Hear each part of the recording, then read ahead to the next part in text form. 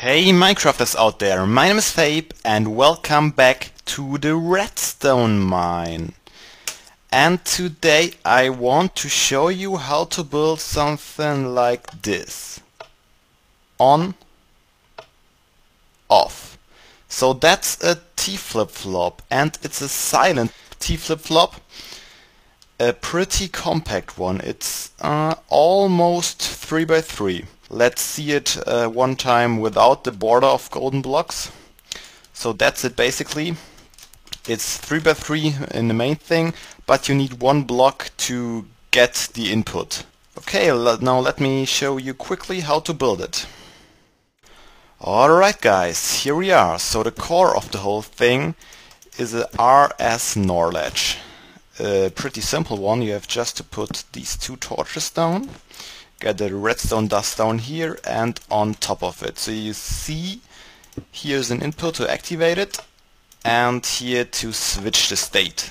So you can just have two inputs to switch the state of the RS NOR latch. And now we have to make it into a T flip-flop and therefore we place a repeater on 4 ticks delay here, another repeater on 4 ticks delay here, which goes into a redstone torch and the block on top of this redstone torch and the block next to it with the redstone dust on top of it which gets activated by this torch and which will activate this repeater down here which will just on one tick delay goes into the RS NOR latch to trigger it.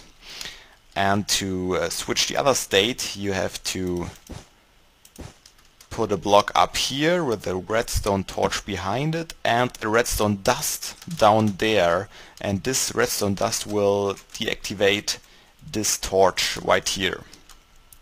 So now all you need is a block on top of it with a, another redstone torch and now a button. Now let's see. On, off.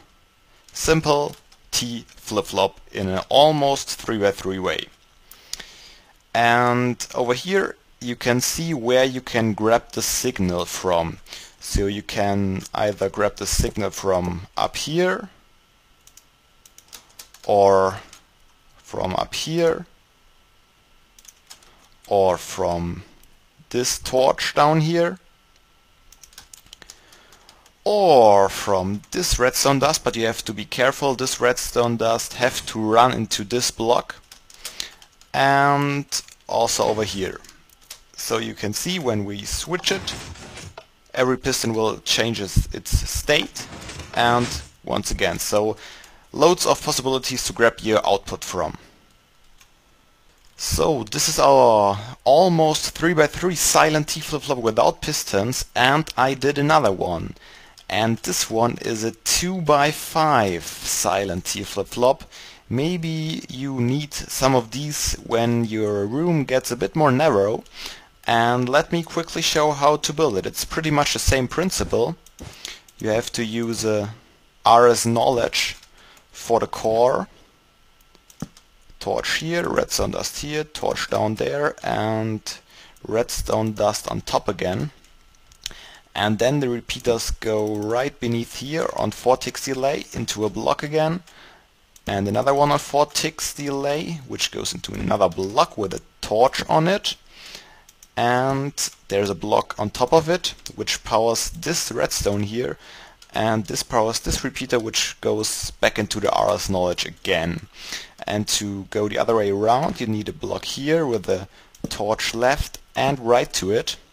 And the redstone dust down here which will can deactivate this torch with another block on top of here and a redstone torch. So let's put the button down and test it. A activate it, deactivate it. So that are my two compact ways to build a silent T flip-flop. I don't know if there are any more compact ways. I checked a bit on YouTube and I didn't uh, see any of these, so I hope that's something that can help you. And yeah, hope you enjoyed it. Please feel free to leave a like. And I hope to see you next time in the redstone mine. And seriously guys, don't be daft, play some Minecraft.